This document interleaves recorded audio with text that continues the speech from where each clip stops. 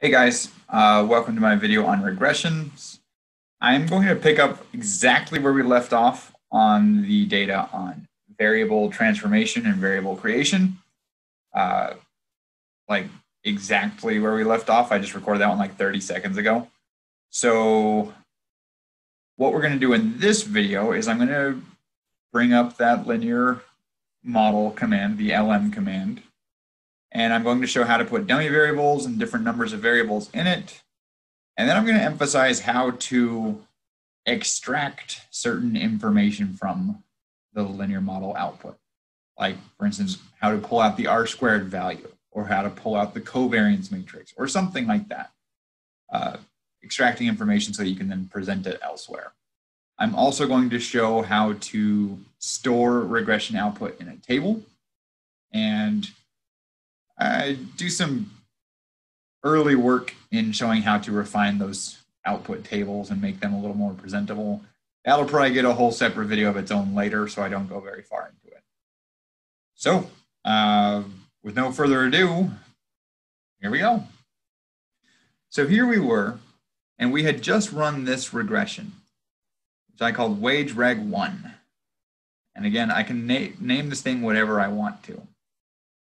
Um, I've got my YouTube data already built from the last video. And let's figure a couple of things out. One of the things I want to do is anytime you see this, where the same piece shows up a bunch of different times in your code, there's probably a good way to shorten it out. Computer programmers are both hardworking and lazy in a strange mix.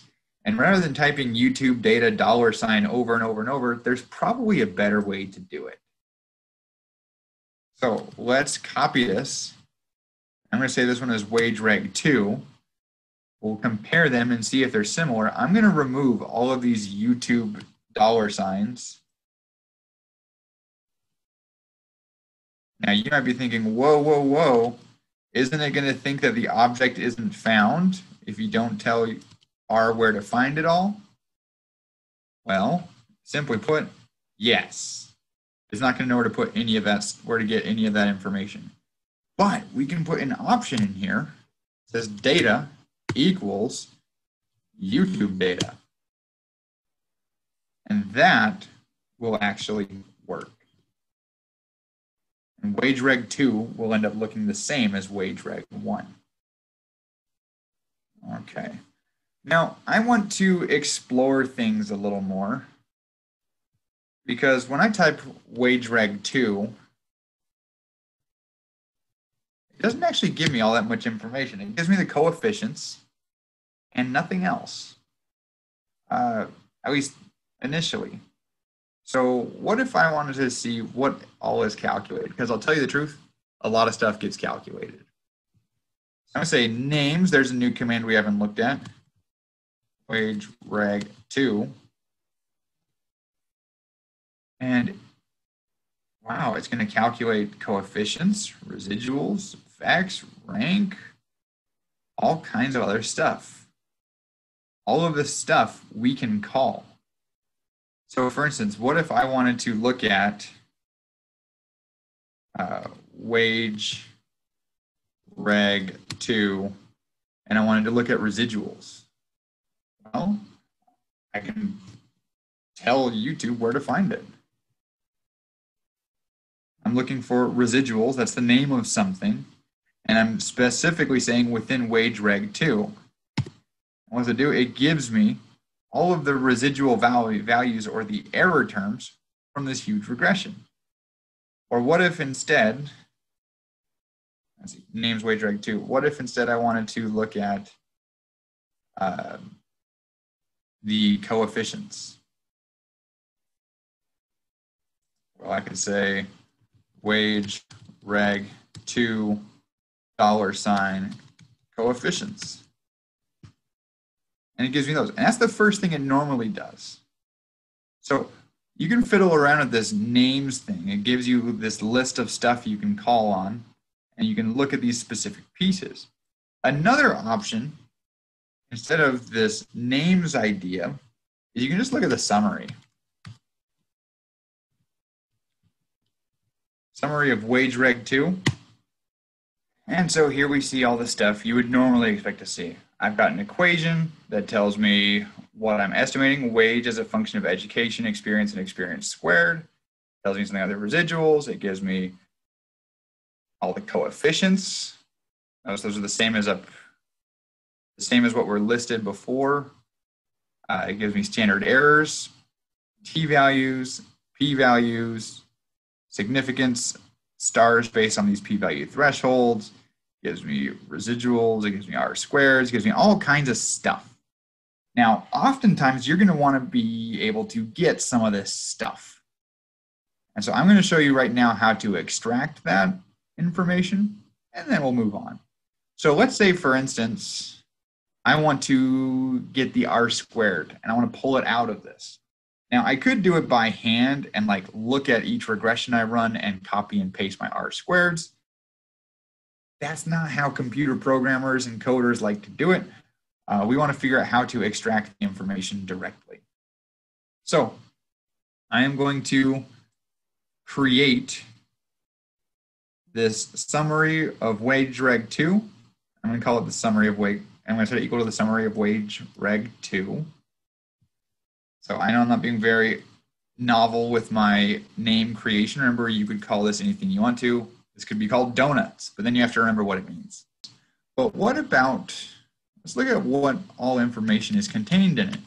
Names of the summary of wage reg 2. Hey, look at that. I've got residuals I can pull out. I can pull out R squared. That's what I said we're going to find. And I can also look at the covariance matrix, which will also be important at some point. So let's just take a look here real quick and let's try to pull out the R squared and the covariance matrix. So summary of wage reg 2 dollar sign R dot squared. And I will just call this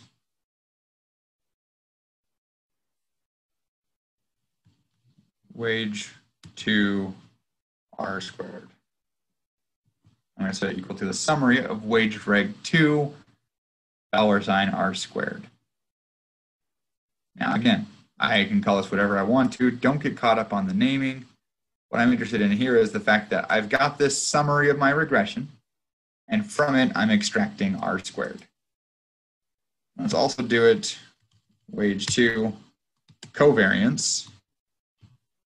I set that equal to the summary of wage reg two dollar sign covariance unscaled. Let's take a look at what these two objects look like. So first, let's run this code so that R stores those. Let's look at wage 2 R2. Hey, there's that R squared value, 0.13665. Hey, look, it's the same one as in there. Let's also look at wage 2 covariance. Oh yeah, it gives me the whole big matrix that we could end up needing to look at for our standard errors. And we'll come back to that later.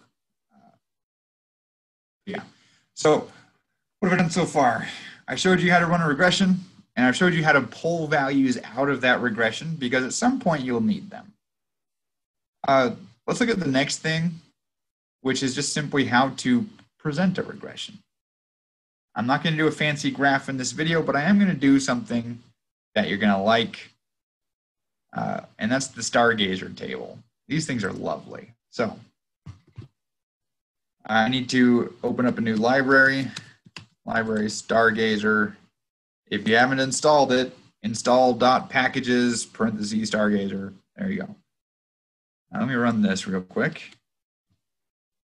Uh, now let's take a look here. Let's say table one. And I'm going to set it equal to stargazer as a function of wage reg 1 and wage reg 2. Let's see what that does. we'll add a bunch of options to it later. Oy, that gave me something ugly. Actually, it gave me something kind of beautiful. Uh, the Stargazer code can give you LaTeX output or HTML output or text output. Let's take a look at the documentation here because it obviously ran something. But unless you speak a certain kind of code, that doesn't make much sense. So let's take a look. Help Stargazer.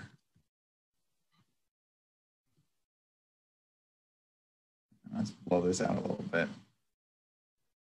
Yeah, so this first default was LaTeX code.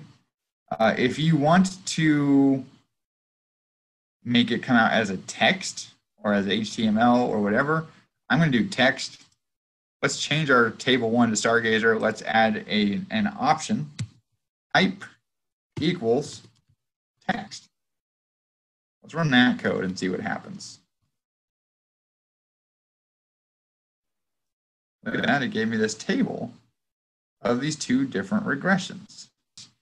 Now, because I told it, you go back, I told it to call the data in different ways, it's storing the data in different places. So I'm going to forevermore ignore wage reg one. Let's create a couple of more regressions and we'll ignore wage reg one. We're going to format it the way we did with wage reg two. Uh, actually, you know what? It's probably just easier done than said. Let's just do it. So let's create wage reg three here. And instead of education, I'm going to use those education dummies that we created in the last video. So instead of education, I'm going to say educ dummies. We already created that. And let's also create a new table in our Stargazer command. I'm copy and pasting that.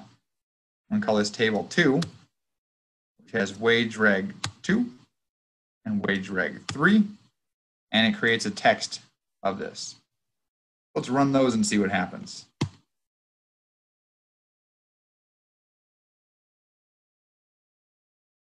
let me blow this up a little bit. All right, so what happened here? In the first regression, we had this education variable. In the second regression, we didn't, but we did have all of these different dummies. And so I'm able to look at these two regressions next to each other and compare output. Later with experience, those were in both regressions, and so it gets stored in both. Now, what about all these stats down here? What if I don't actually want to keep all of those? Uh, observations, R squared, adjusted R squared, residual standard error, F statistic. What if I don't need all of that stuff? Uh, for instance, what if I was only actually interested in including observations down there for my main table that I'm presenting?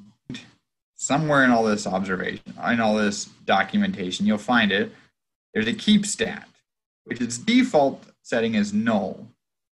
But I'm going to add it into this function that creates our table. And I'm going to say keep stat equals, and I can list whatever one of those statistics I want. So now let's look at what our table looks like.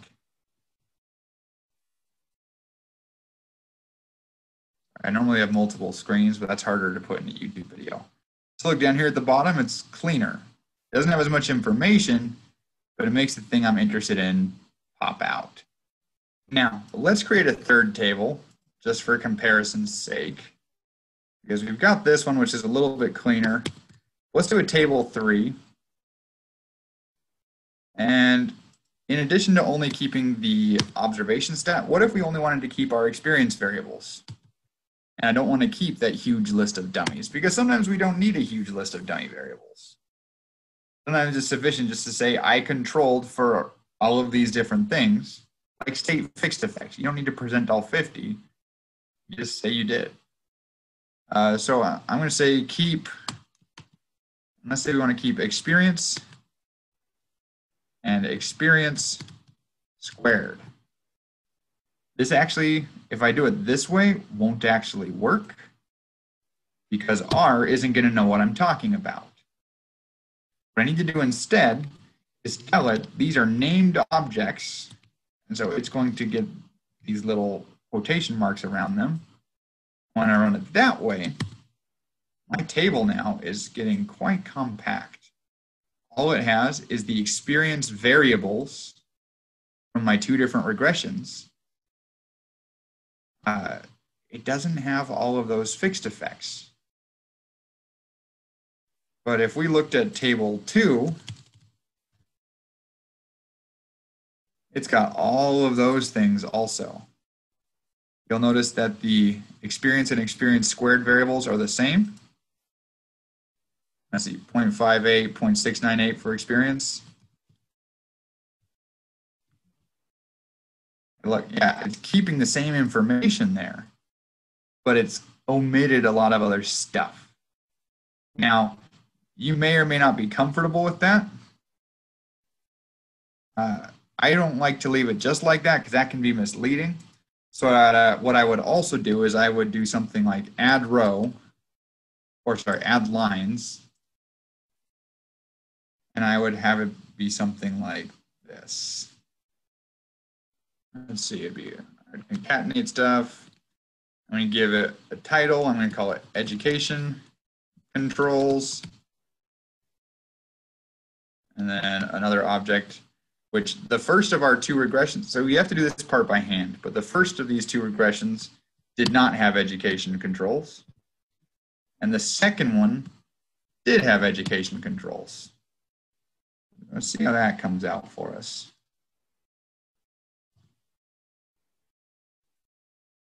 Oops, forgot my last parenthesis. Uh, notice there's no little caret or arrow here. It still thinks I'm going. So I could type another parenthesis here and then it'll finish. I'm just going to go and finish it in my code first though. Run it again like that. Let's see what we got here.